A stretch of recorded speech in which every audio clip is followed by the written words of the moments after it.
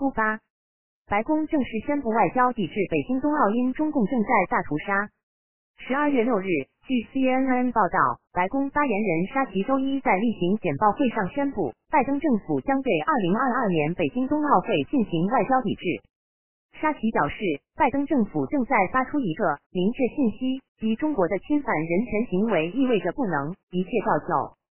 沙奇称，拜登政府将不会派遣外交官或官员出席北京二零二二冬奥会、冬残奥会，这是鉴于中国正在进行的针对新疆的大屠杀和犯罪以及其他人权侵犯。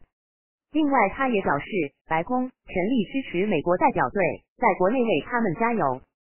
沙奇称，希望借此传递清晰信息，即中国的侵犯人权问题意味着事政不会如常进行。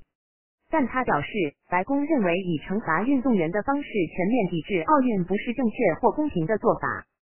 沙奇还表示，对北京冬季奥运会的外交抵制，并不意味着我们对侵犯人权的担忧到此结束。另外，他表示已经通知了盟友这一决定，他们需要自行做出是否跟进的决定。据媒体报道，华盛顿于几周之前就做出了这一决定，但选择在本周宣布。上一次美国抵制奥运会是在一九八零年，当时美国等国对在莫斯科举行的夏季奥运会进行了全面抵制，美国运动员没有参加那届奥运会。时刻新闻编辑播报。